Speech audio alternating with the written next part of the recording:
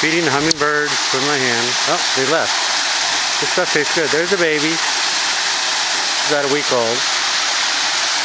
Let's see. Very pretty ones. They get their color by a reflection of the light, not the actual pigment. See? Pretty neat, huh?